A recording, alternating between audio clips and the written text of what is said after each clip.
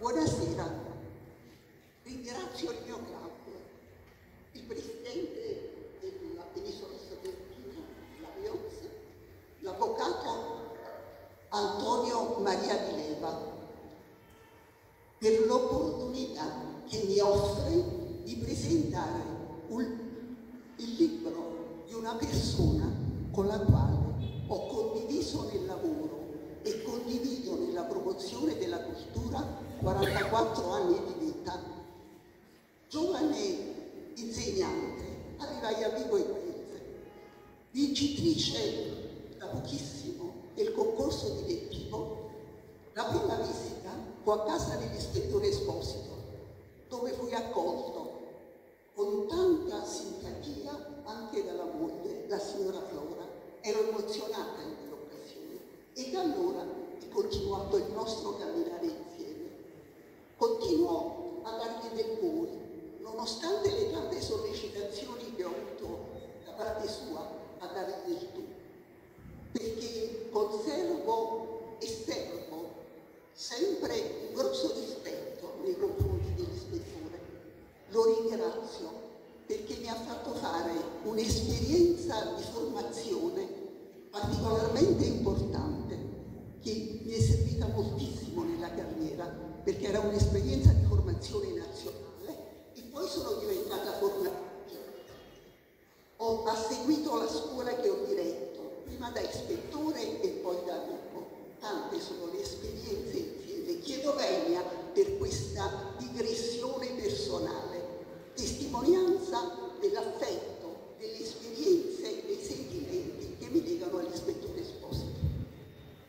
L'ispettore Esposito è testimone del valore della cultura, è una persona che grazie alla cultura conserva una vivacità, un desiderio di progresso, un progettare che un giovane non avrebbe perché è persona colta, è persona di cultura, nell'accezione semantica del termine. Coltivare, cultus è ciò che è coltivato, rispetto a neglectus, che è ciò che è abbandonato. E quindi l'ispettore si cura e cura, perché si prende cura della comunità in cui vive, da sempre è stato alle dipendenze del Ministero della Pubblica Istruzione per 44 anni, ma non si è occupato soltanto di pedagogia italiana, ha avuto la possibilità di fare esperienze di pedagogia comparata, ha visitato le scuole in Germania, ha visitato le scuole negli Stati Uniti d'America, ha svolto attività di volontariato e attività di servizio, sempre con funzioni dirigenziali con funzioni da leader.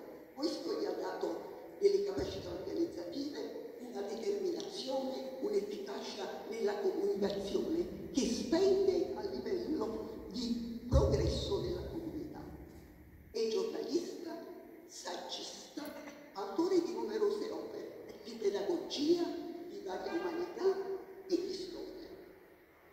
Una persona come lui non poteva non occuparsi di politica, polis, cura della città, e se ne è occupato con vari incarichi.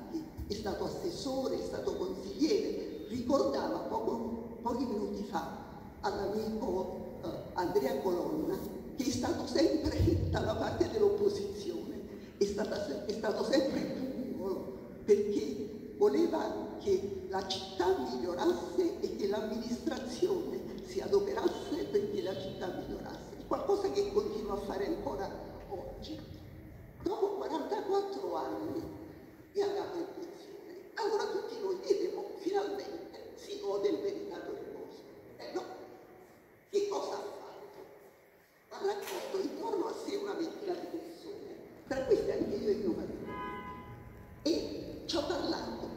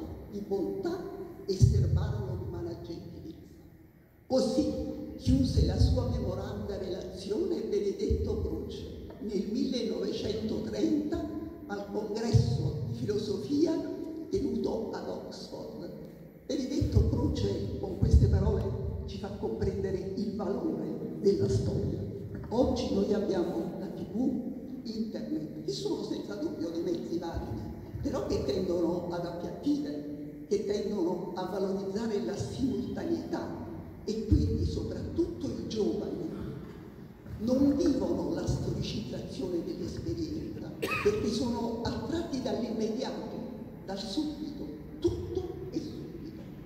È vero che l'uomo è un essere pensante che non può rimanere, deve divenire, però non può neppure divenire senza permanere.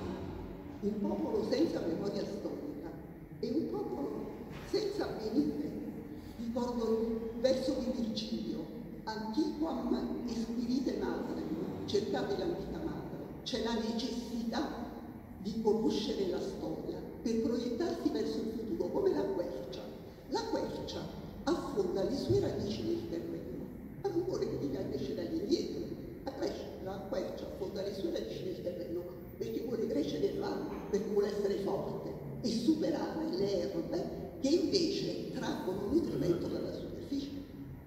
E questo è un esempio che ci fa capire com'è importante conoscere il passato. È un libro di storia locale di scrittura. Fino agli anni 30 la storia locale non era molto considerata, vedete, Benedetto Croce invece la considera molto. Gli storici vengono considerati gli storici del villaggio. Dopo il 30 invece c'è stato un grandissimo dibattito c'è stato un grandissimo dibattito sulla storia locale, perché si è compreso che la storia locale ti permette di comprendere meglio la storia generale.